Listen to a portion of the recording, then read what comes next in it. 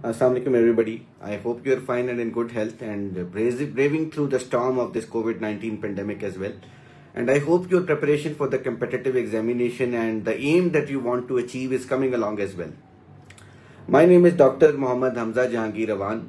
I cleared CSS 2021 and I have been allocated in Foreign Services of Pakistan by securing 51st position overall and I have the privilege of being amongst the top 10 in the interview as well. It is my, it is a matter of immense pleasure for me to have you guys aboard this journey that we are planning for you. इससे पहले कि सी S S के ऊपर हम बात कर रहे हैं या इससे पहले कि हम सी एस एस की स्ट्रेटजी और किस तरीके से इसकी तैयारी की जा सकती है, उसके ऊपर हम बात करें। मैं पहले आपको अपनी जर्नी के मुतालिक बताना चाहूँगा। तो I graduated from Army Medical College और immediately after my graduation I went to America US clinical experience के लिए और कुछ इंटरनेशनल एक्सपोजर के लिए। Having worked internationally in America and UK I realise कि मेरा जो फ्यूचर है मेडिकल प्रोफेशन में, वो एक ही जगह पे हो सकता है कि पाकिस्तान के अंदर। So I return back to Pakistan having got an international exposure I left a lucrative position and good prospects for my future ultimately shifting back to my home base तो वापस आते ही मैंने ये डिसीज़न ले लिया था कि मैं सी एस एस करूँगा। But before embarking upon the journey of CSS I realise कि मुझे अपने करियर को एक सेफ़ पेडेस्टल पर लाना होगा। तो अलहमदुल्ला I was amongst the top selectees by the public service commission examination for medical officers और मैंने तीन साल हाफिजाबाद डिस्ट्रिक्ट के अंदर सर्व किया as medical officer of a basic health unit and ultimately I got promoted to R H Cs and bigger health care installation across the district furthermore मैंने F C P S part one का exam किया and before joining the C S S academies and the CSS system I serve I was serving as trainee of orthopedic surgery at Sheikh Hospital Lahore. So so, मेरी बड़ी डिली डेलिंग सी life की एक trajectory है जिसमें आपको कई सारे प्रोफेशन की और कई सारी डिफरेंट लाइंस और लेंथ की एक डाइवर्सिटी आपको नज़र आएगी तो in the end why did I opt for CSS तो मेरा बड़ा सिंपल सा एक व्यू पॉइंट था having gained exposure internationally having had the honor to interact with different diplomats and people serving abroad मैंने ये डिसाइड किया कि अगर मुझे लाइफ में कुछ चाहिए है तो वो डिग्निटी है तो although medicine is a very noble profession और ये आपको बहुत ज़्यादा लाइफ के अंदर हेल्प भी करता है और फाइनेंशियली भी बड़ा स्टेबल है but at the same time वो डिग्निटी ऑफ़ सर्विस एंड वो जो एक लेवल्ड प्लेइंग फ़ील्ड जिसको कहा जाता है, जहाँ पे एक आपके पास एक अपॉर्चुनिटी होती है डिलीवर करने की, वो अनफॉर्चुनेटली मेडिकल फ़ील्ड के अंदर बड़ी नैरो स्कोप रिटर्न होती है। बट इंटरनेशनली अगर आप मुल्क को रिप्रेजेंट कर रहे हैं या आप किसी भी ग्रुप के अंदर मुल्क को गवर्नमेंट सर्विस के थ्रू सर्व कर रहे हैं तो आपके पास जो बॉल गेम है उसके अंदर जो स्पेस है वो काफ़ी ज़्यादा हो जाती है। तो इस स्पेस के लिए और इस डिग्निटी इन सर्विस के आइडिया को मटेरियलाइज करने के लिए मैंने अपनी सीएसएस की जर्नी को अंडरटेक किया। और अल्लाह ताला ने बहुत करम किया मेरे वालदेन की दुआओं से। I was able to succeed in achieving whatever I aspire to achieve in my life तो इसमें मैं आपको एक बात की बड़ी कैटेगोरिक बताना चाहता हूँ कि despite having rich academic background I do not feel कि बहुत ज़्यादा एकेडमिकली वेल नेट होना या साउंड होना सीएसएस के लिए ज़रूरी है। इसका एक एग्ज़ाम का एक सेट पैटर्न है एग्ज़ाम की एक सेट रूटीन है, इसको टेलर करने का एक तरीका कार है। अगर आप उस तरीके कार को अपने सिस्टम में अडॉप्ट कर लेते हैं और उस स्ट्रेटेजी को मज़बूत तरीके से आगे लेके चलते हैं तो आप अपने सक्सेस के चांसेस को किसी भी आईवी लीग के स्टूडेंट किसी भी इंजीनियर या किसी भी डॉक्टर के मुकाबले में अपने आप को डिसएडवांटेज पोजीशन के अंदर नहीं देख पाएँगे। It is all a trick it is all mastering the trade and following the cogent and the most coherent course of action with regards to your preparation. सबसे पहले आपको सीएसएस के एग्ज़ाम करने के लिए आपकी मोटिवेशन बड़ी क्लियर होनी चाहिए। अगर जो भी मोटिवेशन है, किसी की एक्वायर्ड पावर मोटिवेशन होती है, किसी की जो मोटिवेशन होती है, वो डिफरेंट चीज़ों से स्टेम करती है। कई सारे लोग अपनी मोटिवेशन को मटेरियल गेन्स की शक्ल में देखते हैं। मेरी मोटिवेशन मैंने आपको बताई कि मुझे एक ऐसा पेडेस्टल चाहिए था कि जहाँ से मैं पर्सनल डेवलपमेंट कर सकूँ, जहाँ मेरे पास एक ओपन प्लेइंग फ़ील्ड हो अपने विजन को का इतलाक करने के लिए, और at the same time society के अंदर एक प्रिविलेज पोजीशन और रिस्पेक्ट के साथ मैं अपने लाइफ को आगे लेकर के चलूँ। तो जो आपकी लाइफ में सेल्फ एक्चुअलाइजेशन होती है सेल्फ एक्चुअलाइजेशन से मुराद ये है कि आप कैसे अपने लाइफ के गोल्स को अचीव करते हैं। वो सेल्फ एक्चुअलाइजेशन आपकी कन्विक्शन में बैटर में पाई जाती है। जिस इंसान में कन्विक्शन और विल पावर नहीं है वो ज़िंदगी के किसी भी टारगेट को अचीव नहीं कर सकता। तो first and foremost thing that you need when it comes to CSS is conviction you need to believe in yourself अगर आप अपने आप में बिलीव नहीं करेंगे तो एग्जामिनर आपके लिखे में भी बिलीव नहीं करेगा। सो so, अपनी कन्विक्शन से ही आप इस एग्ज़ाम की बुनियाद रख सकते हैं। दूसरा at the same time I feel कि मैंने अपनी सी एस एस की journey because I was working तो मेरे पास अकेडमीज के प्लेटफॉर्म की जो एक अपॉर्चुनिटी uh, है वो नहीं थी। बीइंग गवर्नमेंट सर्वेंट मेरे जो हैंड्स थे, वो भी बड़े टाइट थे और मेरा शेड्यूल भी बड़ा टफ था तो मेरे पास ये स्पेस अवेलेबल नहीं थी। मगर आप में से जिन कैंडिडेट्स के पास भी ये स्पेस अवेलेबल हो खास तौर पे जो अच्छे स्टूडेंट्स हैं, वो अकेडमीज के ये जो बनी बनाई खीर का कॉन्सेप्ट है, उससे बहुत ज़्यादा इस्तेफादा हासिल कर सकते हैं। और एट द सेम टाइम अपने मटेरियल को बड़ा रिलेट करके उसके अंदर वैल्यू एडिशन भी अचीव कर सकते हैं। तो इस सिलसिले में जो अर्ली बर्ड होता है, वो हमेशा कामयाब होता है। हम हमेशा किसी भी स्पोर्ट्समैन को देखते हैं, अगर टेनिस के हम, मेरे फेवरेट पर्सनैलिटी है, राफेल नडाल को हम देखते हैं, हम सिर्फ़ ऊपर से स्टेटिस्टिक्स को देखते हैं कि उस इंसान ने लाइफ के अंदर सक्सीड कैसे किया। We we neglect the hard work that was behind it जो मेन बेस है, वो एक स्मार्ट वर्क टारगेटेड तैयारी है, जो कोई भी एथलीट करता है अपनी सक्सेस के लिए। सेम गोज फॉर सीएसएस आप इसको एक एथलेटिक पैटर्न के ऊपर, एक कोहेरेंट पैटर्न के ऊपर अपनी तैयारी को अगर मैप करके आगे चलेंगे तो आप अपने सक्सेस के चांसेस को अश्योर करेंगे। इसके लिए जो अर्ली बर्ड है, जो जल्दी इस ट्रैक के ऊपर चढ़ के अपनी फॉर्मूला वन रेसिंग कार के एक्सेलरेटर पर पैर लगाकर साल की एक जर्नी को पूरा कर लेता है, वो अपनी सक्सेस को मटेरियलाइज करने में कामयाब हो जाता है। It is all about consistency mind you it is not sprint ये यूसैन बॉल्ट वाली स्प्रिंट नहीं है 9.58 के अंदर जो आप अचीव कर ले 100 मीटर भाग लिया, उसके बाद बैठ गए। ये गैब्री से लासे वाला मैराथन है। इस मैराथन में सक्सीड करने का एक ही कुलिया है, वो कुलिया ये है कि आप कंसिस्टेंसी से सही डायरेक्शन के अंदर अपनी तैयारी करें। इंटरनेट के ऊपर इंटरनेशनली नेशनली मटीरियल के तो अंबार लगे हुए हैं। बट कौन सा वो रेलिवेंट मटेरियल है? कौन सी वो रेलिवेंट चीज़ें हैं जो हमने पुश एंड पुल करके अपनी जर्नी से सीखी, जो आपको नहीं पता, जिनको आप अडॉप्ट करके आप सक्सीड कर सकते हैं? उसके लिए आईसाप एक वन ईयर का कॉम्प्रीहेंसिव स्ट्रेटेजी बेस्ड प्रोग्राम लेके आ रहा है, जिसके दो कार्डिनल फीचर्स होंगे। पहला इसका बेसिक प्लान है और बेसिक फ़ेज़ है। और सेकंड इसका एडवांस फ़ेज़ है। इन दो फेजेस को कॉम्प्लीमेंट करने वाले दो टेस्टिंग फेजेस होंगे, जिसमें एक रिवीजन बेस्ड थर्ड फ़ेज़ आपका आ जाएगा और फोर्थ फ़ेज़ आपका फाइनल फ़ेज़ होगा, जिसके अंदर आपके ग्रैंड मार्क्स और मार्क्स लिए जाएँगे। सो सबसे पहले किसी भी अगर आप बिल्डिंग को कंस्ट्रक्ट करते हैं तो उसके लिए एक फिजिबिलिटी प्लान बनाते हैं। उसके लिए आप उस लोकेशन को आइडेंटिफाई करते हैं। उस लोकेशन के कैचमेंट एरिया होने को स्टडी करते हैं। एट द सेम टाइम उस लोकेशन में कोई फॉल्ट लाइंस हैं, उसको आप स्टडी करते हैं और जो बेसिक कंस्ट्रक्शन मटेरियल्स के जिसको प्लिंथ बनाना कहते हैं या बेस बनाना कहते हैं इंजीनियरिंग टर्म्स के अंदर, आप उसको एस्टेब्लिश करने की बात करते हैं।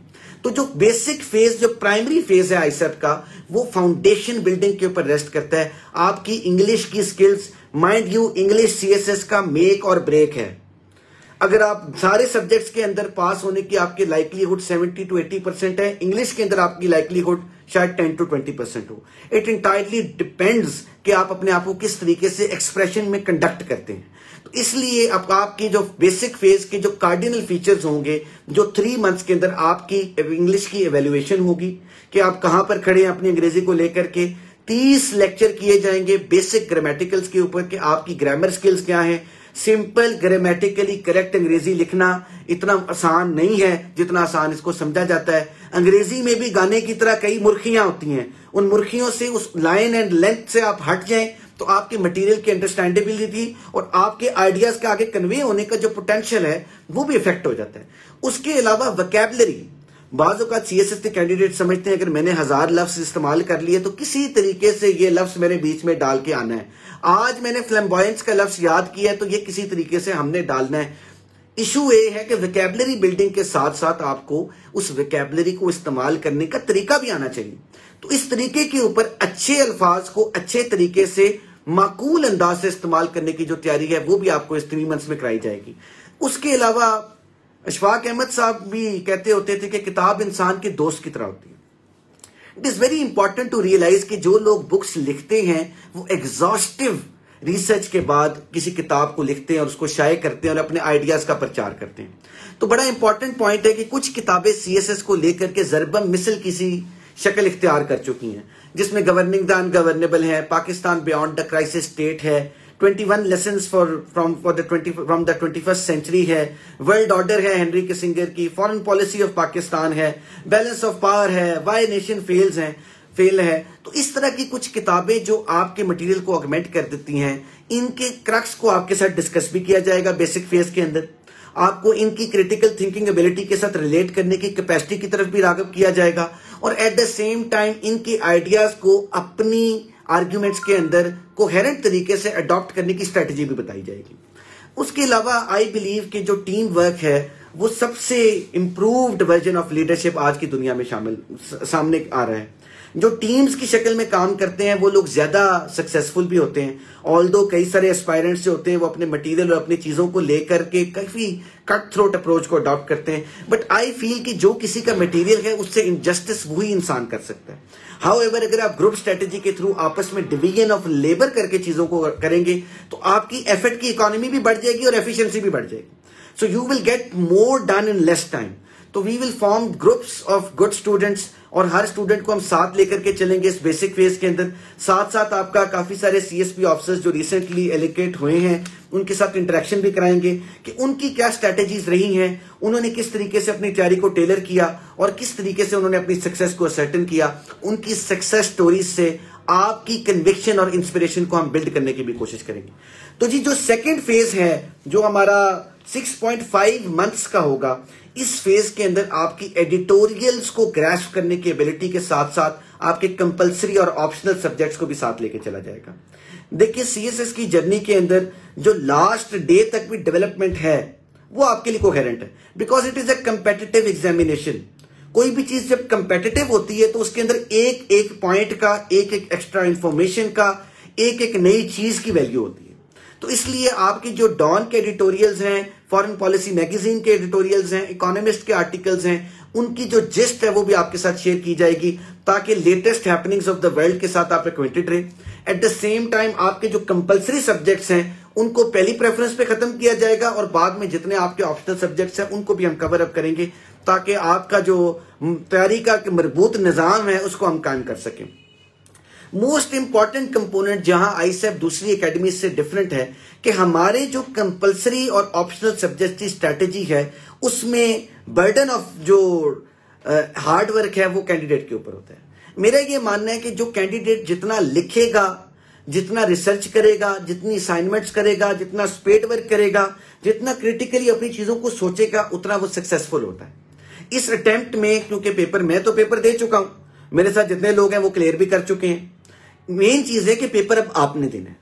अगर आप अपने नॉलेज को और अपनी क्रिटिकल एबिलिटी को अपनी राइटिंग एक्सप्रेशन के अंदर ट्रांसलेट नहीं कर पाते तो इसका मतलब हम भी फेल हो गए और आप भी फेल हो गए। इसलिए जो सेकंड फ़ेज़ है, उसमें आपके कंपलसरी सब्जेक्ट्स और ऑप्शनल सब्जेक्ट्स में हम इसलिए डॉन एडिटोरियल्स की डीकंस्ट्रक्शन के एलिमेंट को डालते हैं कि आपकी क्रिटिकल एबिलिटी राइटिंग एबिलिटी और आपका एक्सप्रेशन जो है वो तरीके से डेवलप हो सके। उसके साथ साथ फिर जो ही आपके सिलेबस को कवर करने की मंजिल को हम हासिल कर लेंगे, हमारी इमीडिएट प्रायोरिटी होगी कि हम रिवाइज करें। ह्यूमन माइंड माइंड के अंदर एक प्लास्टिसिटी का एलिमेंट है। इस प्लास्टिसिटी के एलिमेंट को सॉलिडिफाई करने का एक ही तरीका है कि चीज़ों को बार बार रिपीट किया जाए। अब देखिए पेपर तो लीक है।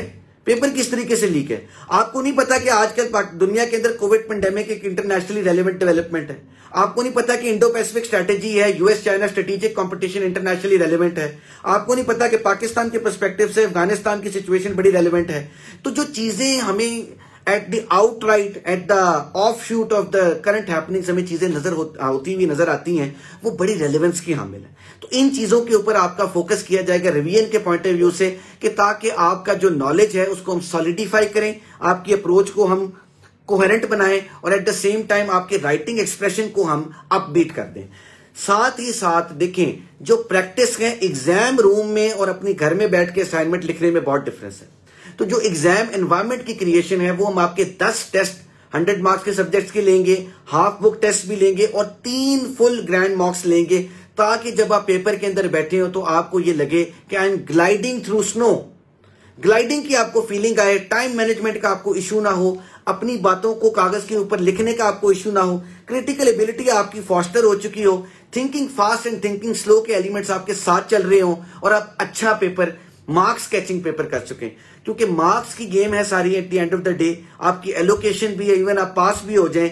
अगर आप 600 के कट ऑफ़ से ऊपर नहीं जाते तो अल्टीमेटली आप इंटरव्यू के लिए कंसिडर नहीं होंगे। और अगर आप 650 प्लस नहीं जाते तो आप अपने पसंद के ग्रुप के अंदर अगर इंटरव्यू में आप मीडियाकर परफॉर्म करें तो आपकी एलोकेशन भी खतरे में पड़ सकती है। इसलिए we have to plan early ये वन ईयर वाला प्लान ये वो बेडरॉक है, जिसके ऊपर आपकी अर्ली प्लानिंग की बुनियाद भी रखी जाएगी। और अगर आप इस प्लान के साथ फॉलो थ्रू कर लेते हैं तो आई एम श्योर कि you would be able to succeed in your exam distinctive features क्या चीज़ें हैं जो इस वन ईयर प्लान को बाकी प्लान से डिफ्रेंशिएट करती हैं? देखिए, इसमें सिंपल सी एनालॉजी है। आपके पास टाइम थोड़ा हो तो आप कम तैयार होते हैं, आपके पास टाइम ज़्यादा हो तो आप ज़्यादा तैयार होते हैं। घरेलू सी मिसाल है। सिंपल सी चीज़ है, जिसके पास टाइम ज़्यादा होगा, वो ज़्यादा चीज़ों को एब्जॉर्ब करेगा, वो ज़्यादा कॉन्सेप्ट को लर्न करेगा, वो ज़्यादा चीज़ों को लिखना जानेगा, ज़्यादा बेहतर तरीके से अपने एनालिसिस को पेश करेगा। हमारा की फोकस होना होना है कि एक जो हमारे स्टूडेंट्स के ग्रुप्स हैं, उनको इंडिपेंडेंट सुपरवाइजर मेंटोर और कोऑर्डिनेटर लेके चले। एक एक इंडिविजुअल की राइटिंग स्किल्स हैंड राइटिंग से लेकर एक्सप्रेशन से लेकर डायग्राम्स तक हम स्ट्रीमलाइन करें। आईसेप के नेटवर्क की जो बुक सीरीज़ और वीकली करंट अफेयर है, उनका आपका टेस्ट भी लिया जाए। बच नहीं सकते आप पढ़ने से।